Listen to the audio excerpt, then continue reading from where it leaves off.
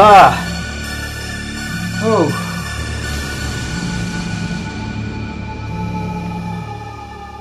Hello? Ryan, it's Heather. Whatever you do, don't fall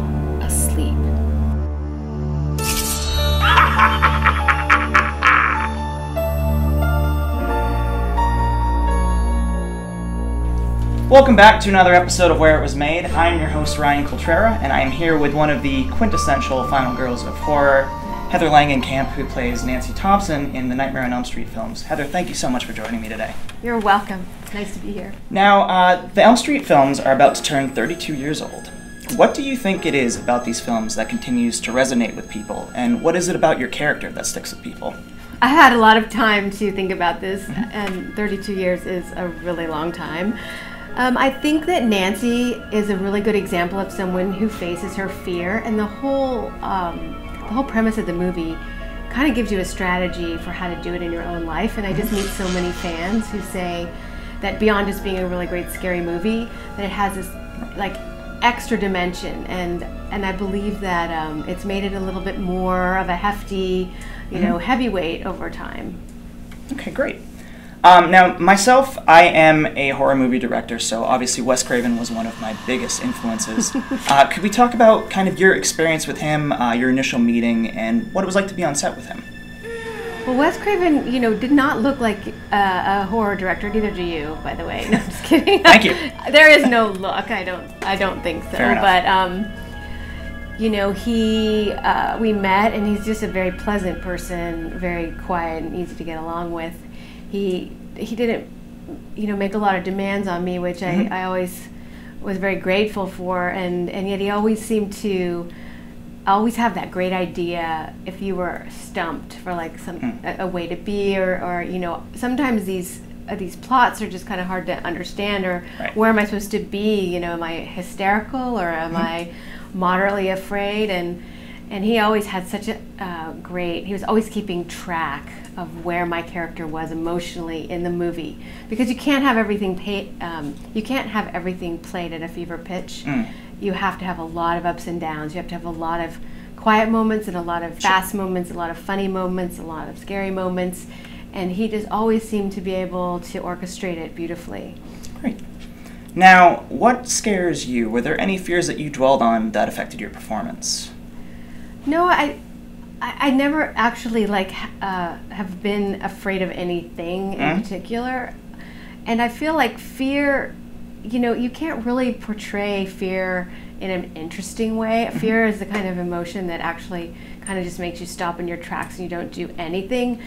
And I think that's one of the things that Nancy really um, she exhibited is that she's she always had action to take and it was Mhm. never about being afraid it was always about figuring it out and so i always um, pursued it with curiosity with the sense of like what what is going on Mhm. those are always my motivators never like what is it i'm so scared you know Okay, that makes sense. Um, now, kind of hopping around a little bit here, um, have you been back to revisit any of the locations since filming? you know i drive by a lot of them just in my daily life in los Right. angeles and and it always brings back a lot of memories um, i have been back to the house a couple of times Mm-hmm. um, i hear that it's like a real like a really you know popular stop Oh, sure. nowadays for horror fans so i feel really sorry for the people who own that house um, but no i don't make a habit of going to the places on purpose Okay, that, that makes sense. I guess could you take us through uh, your casting in this film and kind of how you got involved in the Nightmare on Elm Street films, your audition process? I was living in Los Angeles, and um, my agent would call me, you know, every week or every other day with an audition, Mhm. and this was just one of, of many that I was attending at that time of my life. Great. It was a busy time in Hollywood for young people, but they were doing a lot of movies about teenagers. Mm. So this was one uh, that I remember because it was so low budget. I mean, even the even television that wasn't you know extravagant, you Sure. would have an office with desks, and usually there would be someone to sign you in, and you would have like you know furniture in the room, but.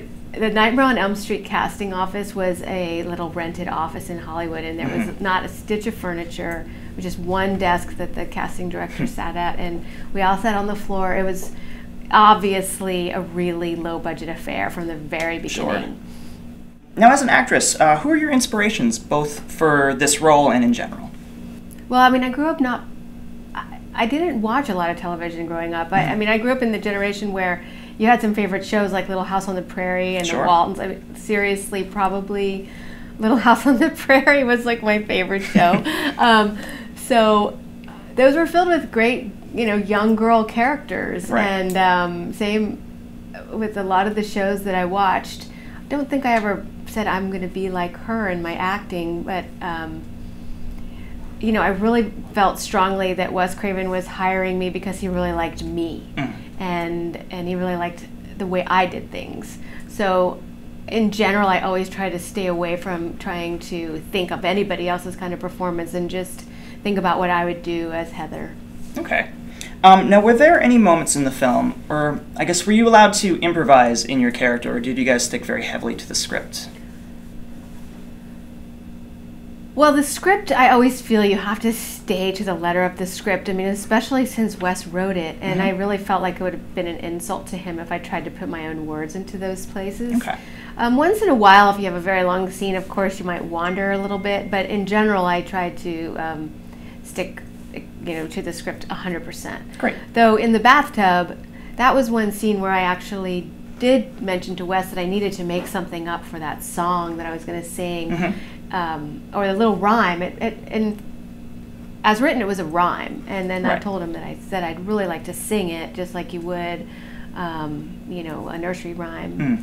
And so um, my boyfriend at the time and I came up with that tune that I sing. And so that That's was great. like one of the best improv, uh, you know, improv moments that Nancy has, I think. Yeah, and that's like lives in infamy now.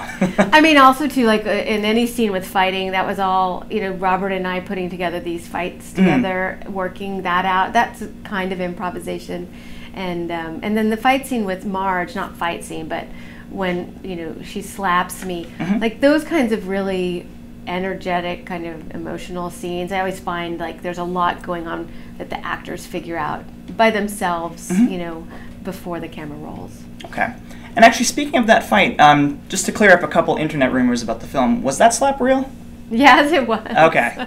That's there seems to be some debate well, I mean, that. we did like a hundred of them, so not all of them were real, but there was one that was accidentally real. Ah, gotcha. Um, and actually, while we're at it, to clear up a couple more things, um, one of the things that people seem very unclear about on the internet, what are the stairs made of? So the stairs were just, you know, they were on the stage that we worked on over on Cahuenga Avenue. Mhm. And they were regular stairs at first, and then for that scene, they cut away the, the step and they just laid a uh, piece of carpet. And inside the carpet was like a mixture, I'd probably say, of like oatmeal and like a very goopy kind of oatmeal kind of stuff. Okay, Yeah. so it is oatmeal. I mean, I'm pretty sure it was oatmeal. Okay, we'll go with that. Um, and that actually transitions to my next question, which you obviously are now wearing a lot of hats. We're here in your effects studio.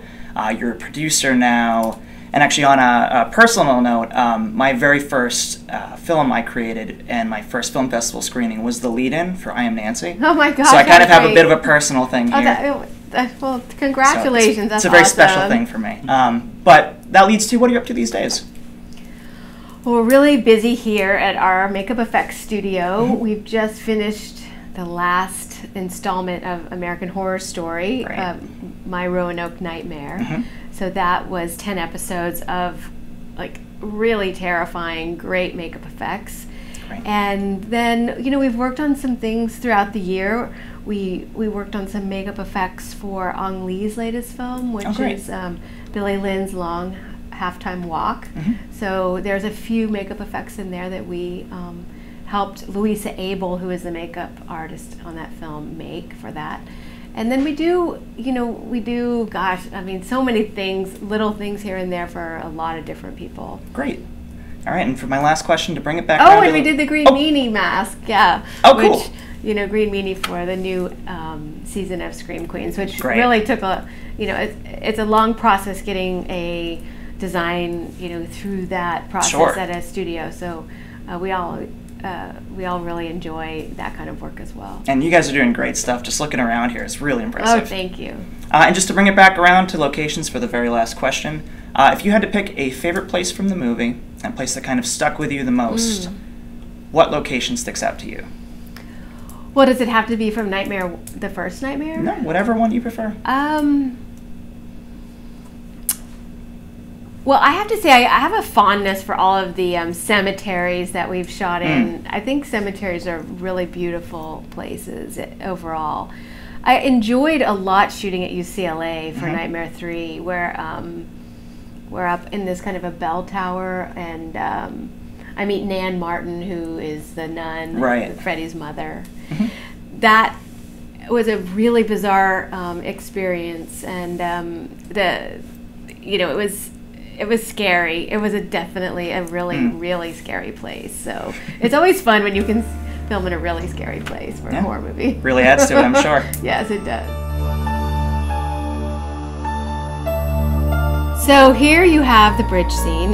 Glenn, Johnny Depp, and I walking over the bridge in Venice, California. But you know the location of the film is uh, not supposed to be California. So I think this was actually probably one of those Hollywood mistakes. I do not think they did that on purpose. Um, for that scene, it would have been very complicated to set up the close up on that. So we did that on the soundstage on Cahuenga, and we set it up on the rooftop. We um, they put some vegetation behind us, I think, and set the camera up. But you see us against the blue sky because we're basically standing on a roof in Hollywood. And uh, as I remember, that day was the day that Sean Cunningham was directing on the on the show. So I was going from the rooftop down below where I was like running through the alleyway, uh, and that's the day I cut my foot, and um, on the set. But so that scene up on the roof, which is really such an important part of the movie, was not shot in Venice. All right, so the boiler room was shot actually in many different places. There's a lot of aspects to the boiler room, but in the scene where I'm running from Freddy, we we shot that scene at the uh, Lincoln Heights Jail, which is a very popular location for Wes Craven horror movies, and I know that they've shot scenes from Shocker in there and other Wes Craven films. So that uh, setup was finding a place that had lots of pipes and lots of things that looked steamy and dangerous. And I just basically ran down one catwalk from different angles and they moved the camera here and there. It wasn't a very large space that we shot in, and um, and then you see me kind of like shimmying in between some big boilers. I'm pretty sure that was the Boyle Heights jail, and uh, that was a very scary place because it had held prisoners for many, many years and then been closed down because it was actually kind of an inhumane place for the prisoners. So the house on Genesee, which is the house on Elm Street, is an iconic place now, obviously, and thousands of people visit it every year. For me, my favorite part of that house was setting the booby traps. First of all, was something that I really enjoyed doing, uh, especially in the living room. We shot a lot of work there, but it interplayed with work on the set. So it- to me, it's kind of this one seamless place. But for sure, the bedroom was my favorite place to sit in when we were shooting because Gregg Fonseca, who was our art director, he had decorated my room so beautifully for a girl my age in the film who's 15 16 years old if you looked around and you look in the background you see so many details for a young girl that just made sense. And it, it doesn't look new. It's very shabby. There's a lot of kind of junk that the girls collect. If you're a girl you know what i mean. It just kind of sitting in the corner. And gregg had a perfect understanding of that. And as a result every time i was there i just felt like oh this is definitely my room. And uh, looking out to see johnny depp's house uh, glenn's house was a magical um, a thing. It's so rare in film to have something that you can really focus on that's real. And you know johnny did come through the window and um, and sit on that chair. And so there's something very real and, and wonderful about that particular room for me. So that house we did a lot of exteriors of our nightmare house.